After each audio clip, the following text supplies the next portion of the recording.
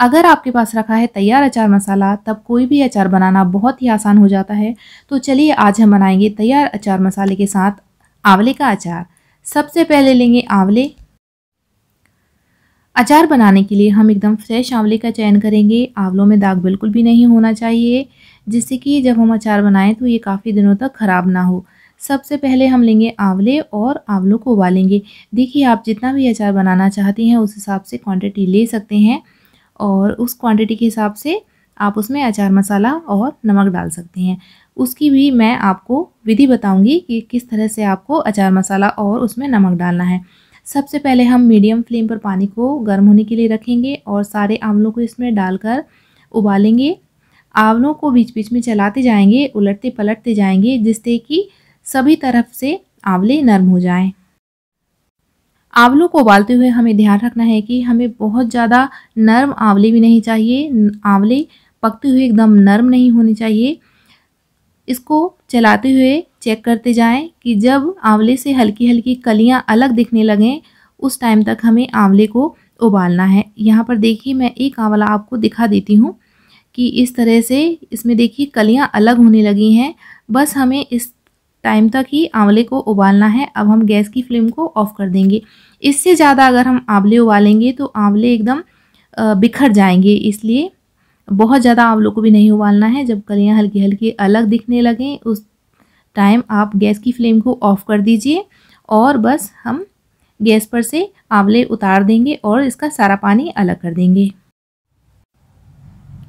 पानी को अलग करने के बाद आंवलों को अच्छे से ठंडा होने देंगे और ठंडा होने के बाद हम इनकी कलियाँ अलग करेंगे, क्योंकि आंवला बहुत ज़्यादा गर्म है और इस इस टाइम इसकी कलियाँ अलग भी नहीं होंगी।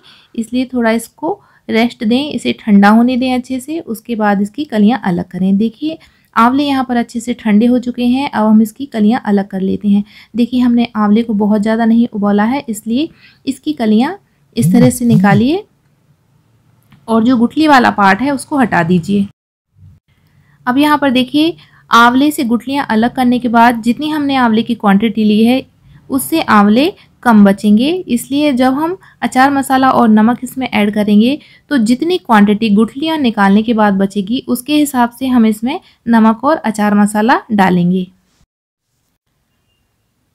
देखिए, इस तरह से सारी कलियों को अलग कर देंगे और आंवले को एकदम अच्छे से ठंडा होने देंगे, क्योंकि अभी भी आंवले हल्के से गर्म हैं, इसलिए इनको और ठंडा होने देंगे जब तक हम अचार मसाला तैयार कर लेते हैं। तो देखिए, ये वाला अचार जो है, बहुत टाइम के लिए या साल भर के लिए हम स्टोर करके नहीं रखने वाले। हम इसको थोड़े टाइम के लिए यूज़ करेंगे। इसलिए यहाँ पर इसको बनाने की विधि थोड़ी अलग है। अगर आप साल भर के लिए अचार बनाते हैं और उसे स्टोर करके रखना चाहते हैं, जिससे कि अचार कभी ख़राब ना हो, साल भर तक ख़राब ना हो तो उसके लिए हमें थोड़ी अलग विधि से अचार डालना होता है। तो ये थोड़े टाइम के लिए है। एक से दो महीने के लिए आप इस तरह से अचार डालकर इस्तेमाल कर सकते हैं, क्योंकि सर्दियों का समय है और सर्दियों में अचार जल्दी ख़राब नहीं होता है। अब हम ले लेते हैं अचार मसाला। यहाँ पर मैं ले रही हूँ 100 ग्राम अचार मसाला। इस अचार मसाले की रेसिपी भी मैं डिस्क्रिप्शन बॉक्स में दे दूँगी, आप वहाँ से देख लीजिए। इसके साथ हमें लेना है 50 एम या 50 एम तेल। यहाँ पर मैं गुठली निकालने के बाद आंवले की मात्रा बता देती हूँ। आंवले की मात्रा है 500 ग्राम। 500 ग्राम के हिसाब से हमें लेना है 100 ग्राम अचार मसाला और इसके साथ हम लेंगे 25 ग्राम नमक। हमने जो अचार मसाला लिया है, उसमें नमक है, लेकिन फिर भी अलग अलग तरह के अचार में नमक की मात्रा भी अलग अलग पड़ती है। इसलिए हम यहाँ पर 100 ग्राम अचार मसाले के साथ 25 ग्राम नमक और लेंगे। अब देखिए, हमने जो 50 एम तेल लिया था, उसको हम गर्म करेंगे। फ्लेम को यहाँ पर मीडियम रखेंगे। तेल को तब तक गर्म करें जब तक कि इसमें से धुआँ ना आने लगे। जैसे ही तेल अच्छे से गर्म हो जाएगा, इसमें से हल्का सा धुआँ उठने लगेगा और जैसे ही इसमें से हल्का सा धुआँ उठेगा, हम गैस की फ्लेम को ऑफ़ कर देंगे और ऑफ़ करने के बाद तेल को ठंडा होने देंगे। चार से पाँच मिनट तेल को ठंडा होने देंगे, उसके बाद हम इसमें अचार मसाला डालेंगे। अभी यहाँ पर देखिए तेल बहुत ज़्यादा गर्म है, इस टाइम अगर आप अचार मसाला इसमें डाल देते हैं तो अचार मसाला जल जाएगा। इसलिए तेल को तीन से चार मिनट ठंडा होने दें। उसके बाद हम इसमें अचार मसाला डालेंगे। अब देखिए, तीन से चार मिनट हो चुके हैं और तेल जो है हल्का सा ठंडा हो गया है क्योंकि तेल की क्वांटिटी भी कम है, इसलिए कम टाइम में ठंडा हो गया है। अब हम इसमें डालेंगे अचार मसाला।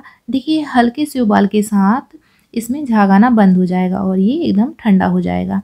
और इससे कि जो हमने अचार मसाला लिया है, वो हल्का सा भुन जाएगा और अचार मसाला जलेगा भी नहीं। देखिए इस तरह।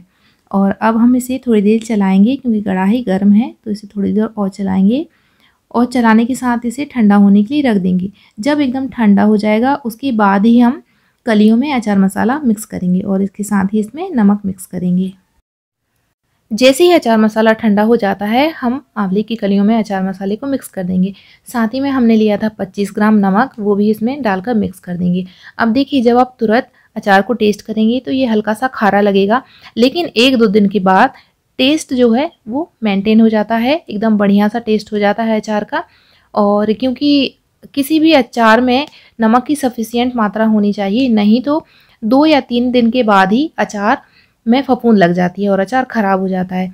इसलिए अगर थोड़ा भी बहुत कम नमक हुआ तो अचार ख़राब हो जाएगा।